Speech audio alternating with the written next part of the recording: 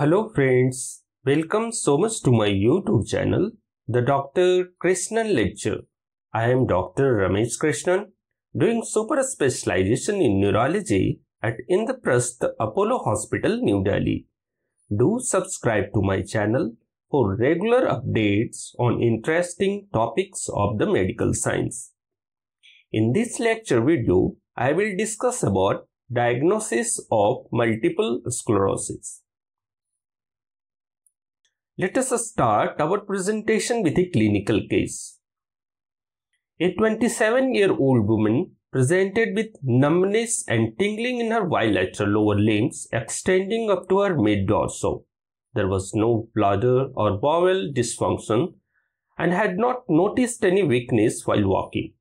She denies any prior history of transient neurological symptoms. On examination, there was diminished sensation to light touch and increased vibration sensation threshold in her toes, which was normal at the ankle. She had sensory level at C5. MRI of her brain showed single periventricular lesions oriented perpendicular to the lateral ventricle.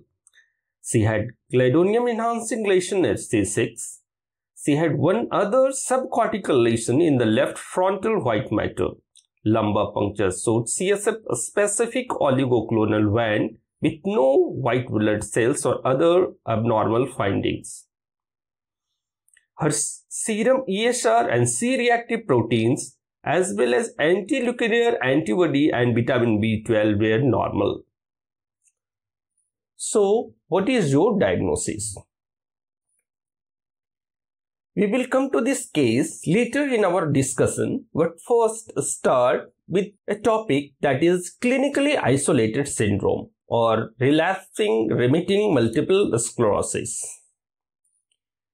It is defined by first clinical relapse of MS, including unilateral visual change and eye pain suggestive of optic neuritis and unilateral sensory or motor symptoms with or without accompanying bladder or bowel dysfunctions. Along with infratentorial symptoms that can include imbalance, incoordinations, diplopia, or vertigo. Duration of clinical symptomatology is a minimum of 24 hours but can persist up to days to weeks.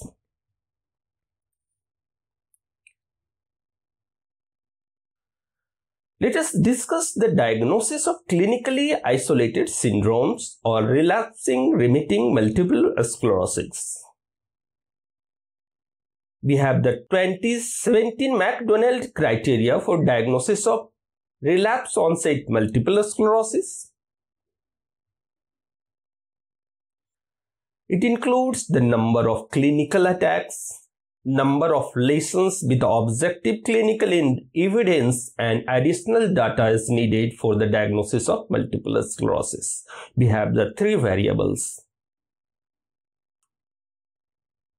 The patient is having greater than two clinical attacks with the two lesions showing the objective clinical evidence of that clinical attacks, then we do not need the additional data to confirm the diagnosis of relapse onset multiple sclerosis or the patient is having greater than two clinical attacks with one lesions showing the clear-cut historical evidence of prior attacks involving lesions of distinct anatomical locations.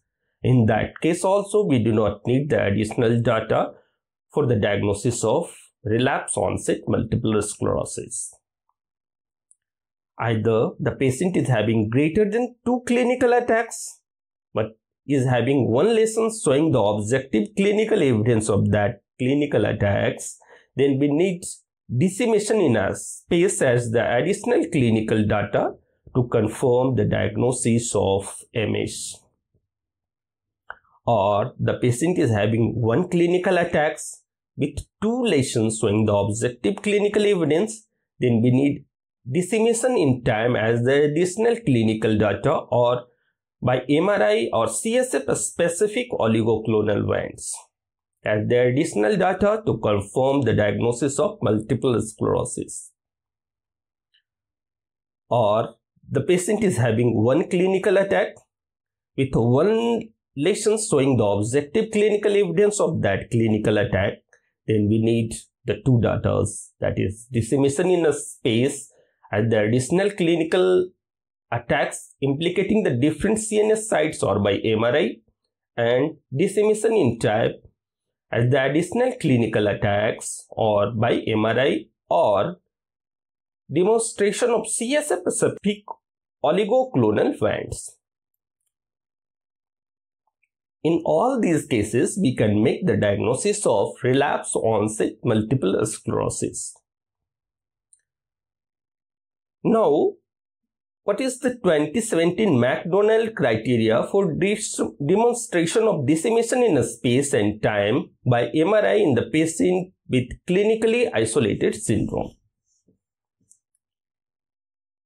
Dissemination in a space demonstrated by one or more of the T2 hyperintense lesion characteristic of multiple sclerosis in two or more of the four areas of the central nervous system. These areas include periventricular, cortical or juxtacortical, infratentorial brain lesions or a spinal cord, or dissemination in time can be demonstrated by simultaneous presence of gadolinium enhancing and non-enhancing lesions at the same time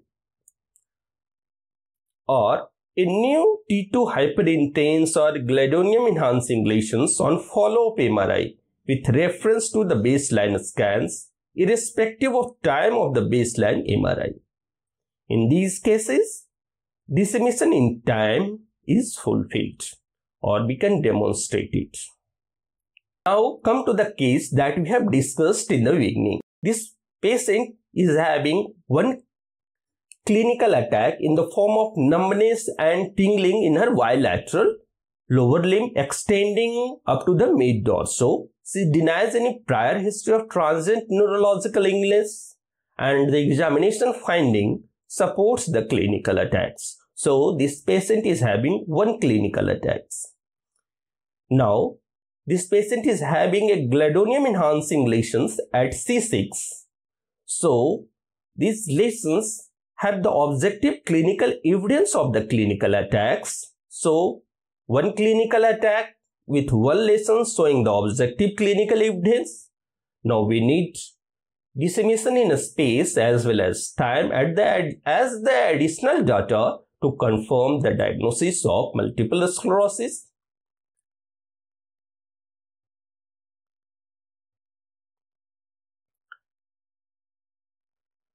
As this patient is having periventricular and spinal cord lesions, so dissemination in space as the criteria is fulfilled, along with the simultaneous presence of gadolinium enhancing and non-enhancing lesions meets the criteria for dissemination in time as well as the CSF specific oligoclonal bands further supports the diagnosis of further supports the dissemination in time.